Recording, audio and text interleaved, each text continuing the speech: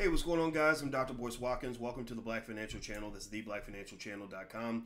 So it looks like the stock market has taken a major hit today on June 26th. Uh, a lot of it has to do with Texas. Um, the governor, Greg Abbott, has announced that he's going to roll back the reopening of Texas because of a spike in hospitalizations due to the coronavirus. Um, quote, at this time, it is clear that the rise in cases is largely driven by a certain number of activities uh, including Texans congregating in bars. Uh, coronavirus cases are spiking and reopenings are being delayed, which at a minimum will impact earnings, says Tom Essaye, founder of the Sevens Report. The resurgence in coronavirus cases is raising concerns that the rebound may be short lived as voluntary or potentially more government mandated economic shutdowns are being increasingly like are becoming increasingly likely. Uh, shares of companies that would benefit from an economic reopening tumbled, uh, including United Airlines, American, Delta, etc. Uh, the the Fed uh, gave also did an annual stress test that showed that some banks could hit minimum capital levels uh, in scenarios related to the coronavirus pandemic. So basically, they've concluded that a lot of banks, if uh, if a lot of their businesses, underlying businesses that they loan to, uh, are struggling and go bankrupt, these banks are going to get hit hard. And uh, and so moving on, uh, they said that the Fed vice chair says, while I expect banks to continue to manage their capital and actions and liquidity prudent liquidity risk prudently and in support of the real economy, there is material uncertainty about the trajectory of the economic recovery. So basically, they're saying, uh, you know, we, we think that they're going to do a good job. Uh, they're going to be prudent uh, in terms of managing uh, the risk that their liquidity could dry up. And, the, and there is a real economy that is going to hopefully recover um, you know, on its own at some point once this virus gets under control. But there's a lot of uncertainty about what that trajectory is going to look like. So, effectively, the way I interpret that to mean, or what I'm seeing here is, you know how the movie's going to end you just don't know what's going to happen between now and the ending of the movie. So uh, we are going to get a, vir- a vaccine at some point. That's going to be a big deal in terms of helping people feel more comfortable, things like that. Um, you know, mandatory vaccinations. I, I, wouldn't be surprised if that was a thing. Um, and uh, you know, I, I don't know how I feel about that, but you know, that's what you're seeing. Um, so, so some of the bank shares have dropped, like uh, Bank of America, J.P. Morgan, which went up a couple days ago. Nike shares also uh, dropped because they did not meet their earnings expectations. Uh, and so uh, there is a record rise, though, in consumer spending uh, in May.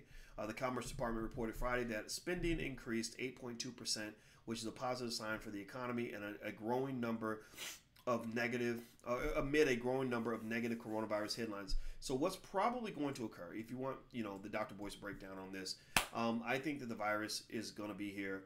Um, but the question is, is it going to be in media?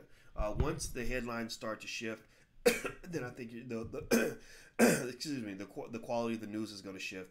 And also, um, you know, we know how the movie's going to end. We know that eventually a vaccine will be announced. That's going to be a big bump in the market. I would I would be surprised if it wasn't. And so um, Texas rolling back though is a big deal because Texas was one of those places that was pretty stubborn about you know insisting upon a reopening. So um, maybe they reopen again. Uh, they they got to reopen, right? You know, politicians depend on the economic prosperity of their community. So if people are mad that they don't have jobs, you're not going to be in office very long. So I think that they're what they're going to do is they're going to go back to the drawing board and they're going to schedule a new reopening.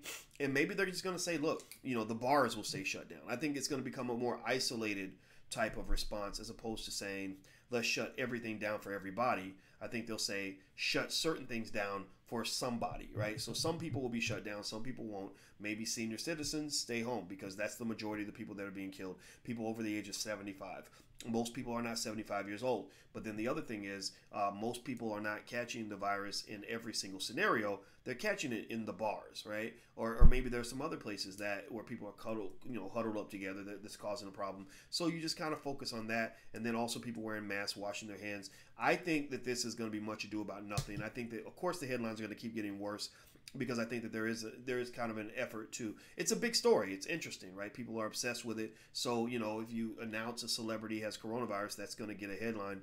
But I think at some point, what's going to happen is there's going to be a bigger headline. I don't know what it's going to be, but there's going to be a bigger headline, and, and at that point, the focus will shift. Uh, so um, you know, the virus is real. We know this but this market decline is not real in my opinion. I am one of the bulls on the market in terms of saying, okay, stocks are temporarily cheaper. I'm going to go buy some more because I know that if I waited out a year or two or less, uh, you know this is going to come back. So the stock pick of the day, if you guys are interested in stock I'm interested in or a stock I'm looking at, I really like Amazon. I'm buying some more Amazon, adding more to my portfolio because Jeff Bezos just seems to have it right, and they're announcing new, greater, new things every every year. And I believe that that innovation, that desire to kind of push the boundaries and uh, and to do it in a profitable way is what's going to lead Amazon to keep growing. So that's my stock pick of the day. If you want to follow my stock picks in general, uh, feel free to subscribe to the Black Stock Market Program. Uh, I have all a lot of the, the stocks that I'm I'm buying. I just tell you guys what I'm buying.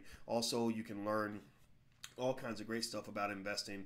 Uh, in the first month is you can do a 14 day free trial. Uh, I think for a dollar. I think it's just a dollar. So feel free to go to theblackstockmarketprogram.com. T H E. That's theblackstockmarketprogram.com. I'm Dr. Boyce Watkins. Have a good day. Hit the thumbs up button, please, on your way out. I'll talk to you guys soon. Take care. Bye bye.